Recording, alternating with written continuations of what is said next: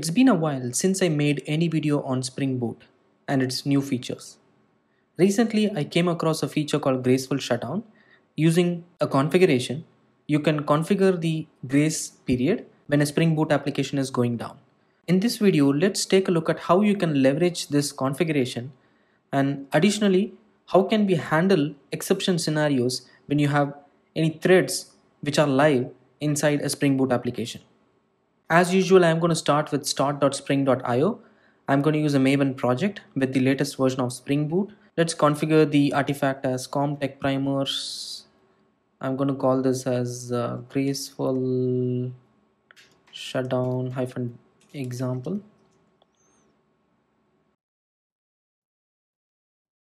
I'm going to use the Java 11 version you can either use 8 or 11 or 14 i already have java 11 installed in my laptop so i'm going to use the same java 11 version. I'm going to add some dependencies. I'm just going to add only the spring web so that i can trigger a rest endpoint and imagine that the rest endpoint is going to take more than 10 seconds or something. And we can configure the graceful period timeout as 30 seconds and we can see how the jvm is going to respond and how you can configure it in a best possible way so I'm just going to unzip the project and open it in IntelliJ. So the project got loaded. Let me open. There is nothing else. It's just a plain vanilla Spring Boot project, which we all know. So here what I'm going to do is I'm going to configure this particular project with the graceful time period. So there is server dot shutdown dot grace period. I'm going to configure it as let's say 25 seconds right let me go to the web page and then see what is it grace haven period and it is 25 seconds right? By default you can have 30 seconds. I'm just going to mm, modify it to 25 so that you can see that we can modify it to a custom value.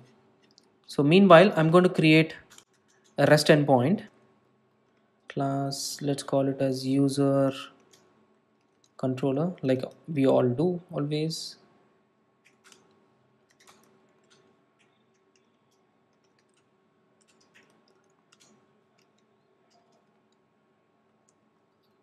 Uh, I'm just going to return I'm just going to create a get mapping to just say hello. Instead of user I'll just say hello and we need to get the hello world message.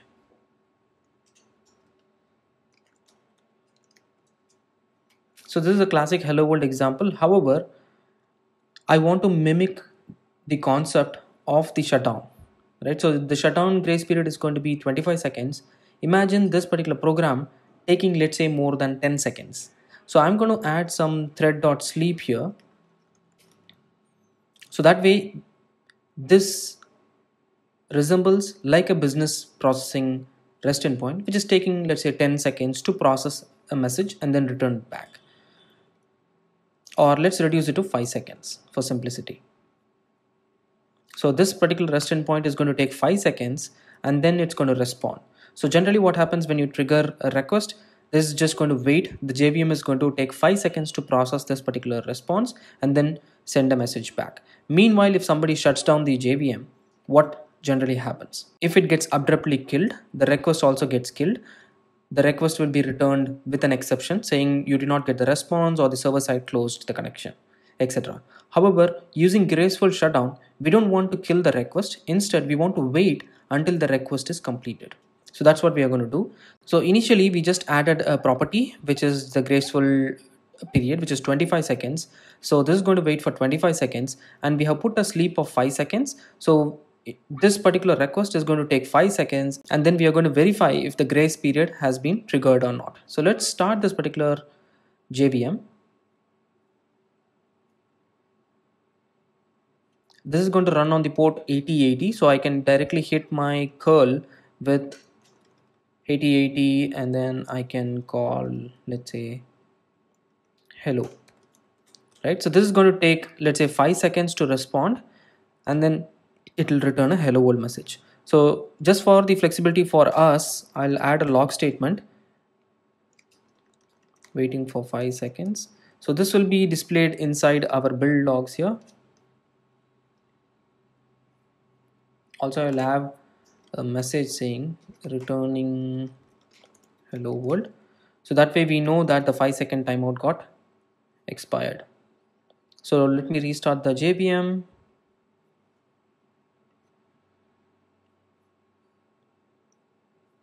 so right now the JVM is up. Let me go to the curl statement here and let me trigger this so here in the log, we should be getting waiting for five seconds. And after five seconds, we should be getting returning hello world. So this works perfectly fine.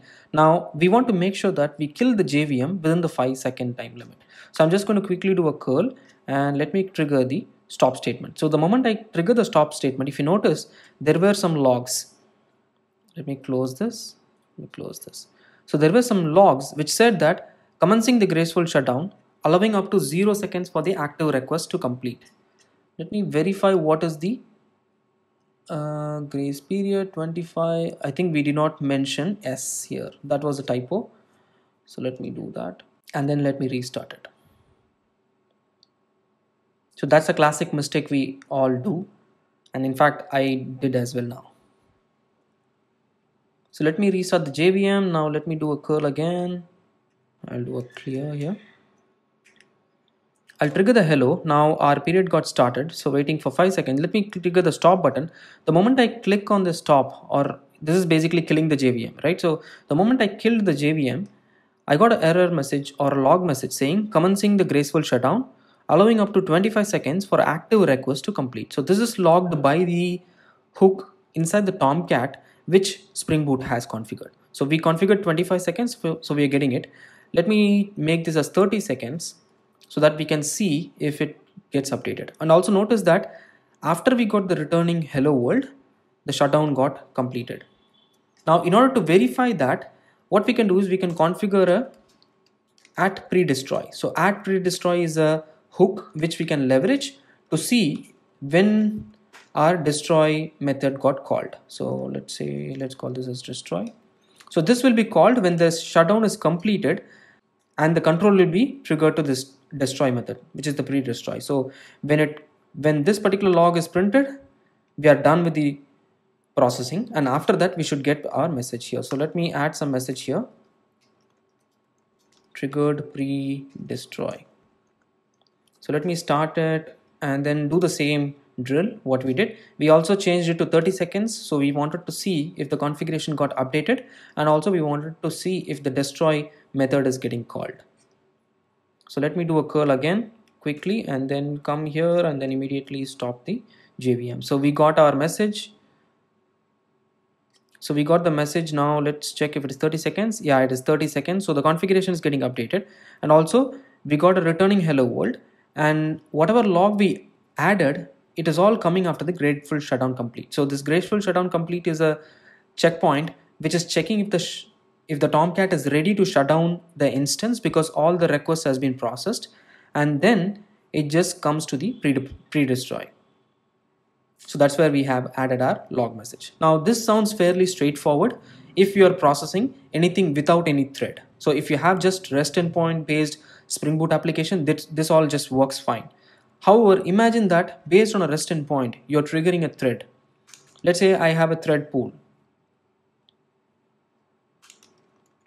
because most of the time we work with Spring Boot application which is not just a microservice. Instead it's a monolith.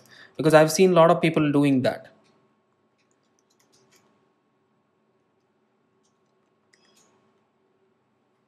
So I'll configure the thread pool size as 10 and I need to typecast it to the thread pool executor.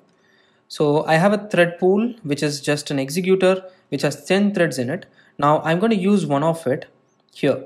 So instead of the thread.sleep, I'm going to use the thread.sleep inside a child thread. So I'm going to execute a thread.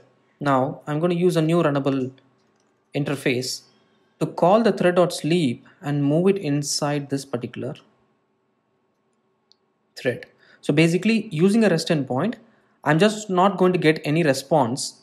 Instead, I'm just triggering another thread within that. So this could be used as a trigger. So most of the time what we do, we have a REST endpoint which can just trigger some batch or trigger something within a Spring Boot application, right? So that's when we get into a mess. So for that, we are going to use this kind of an example where we trigger hello internally. It's going to trigger some thread which is going to sleep. So this will mimic uh, business processing system which is taking more than five seconds. So that's what is going to happen. And here we are going to say completed five seconds. That way we know this child thread has completed its processing. Now in order to first test it,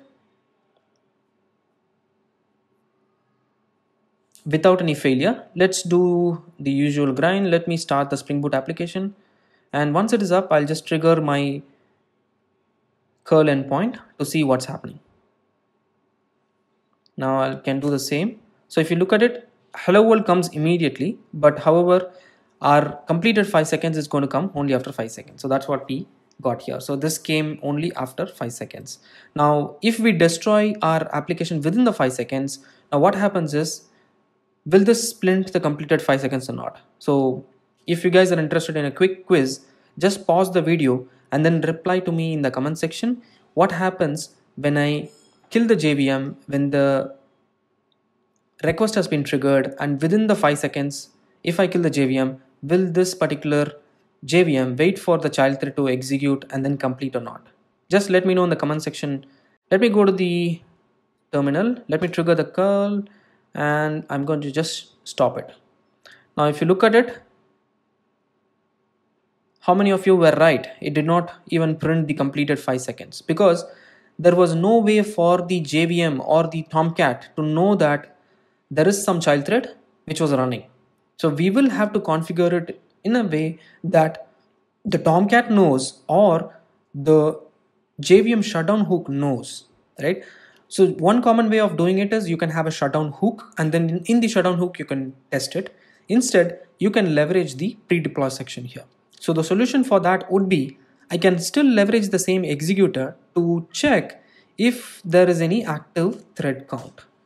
So I can just do this, right? I mean, if the active thread count is greater than zero,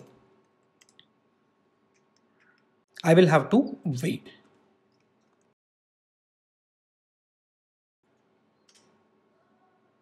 Now imagine I can wait for five more seconds, right? So imagine the thread did not get destroyed. I can wait for five more seconds. Now let me surround this with a try catch.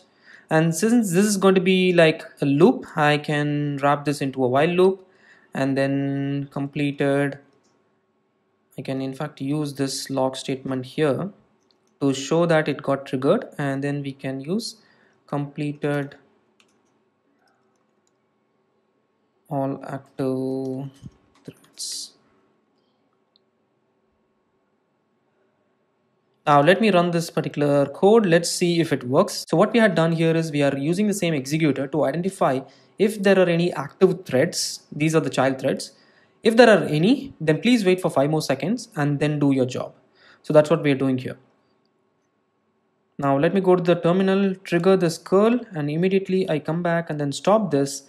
Now what happened is it has triggered the pre-destroy and then it's just waiting for 5 seconds and then it said completed 5 seconds and then finally it said completed all active threads that's what we had here. So this is one neater way of checking if all the threads which were present inside this particular executor if they were active or not. Imagine if you have a Spring Boot application which behaves like a monolith and you want to have it gracefully shut down, then you will have to do something similar you cannot rely only on the tomcat to identify and then trigger your graceful shutdown period. Instead you will have to do additional step of doing this. So adding only this particular configuration doesn't help you in any way. Instead you should also have some way for you to identify if other processing within your application is ready for shutdown or not. So this is one example of how you can leverage executors. And if you're using executors with thread pools then you can use it to identify if there are any active threads and then gracefully shut down your application. So if there are any other custom queuing mechanism or custom queues and threads which you are leveraging within your application, you can plug that inside this section itself. So you can configure the act pre-destroy annotation and just override the destroy method and then just go ahead and configure whatever you want. I hope you found this particular feature interesting. Do let me know if you're using this feature already or if you have any complicated use case which you would like me to try and then resolve it for you. As always, if you like the video, go ahead and like it. If you haven't subscribed to the channel, go ahead and subscribe to it. Meet you again in the next video. Thank you very much.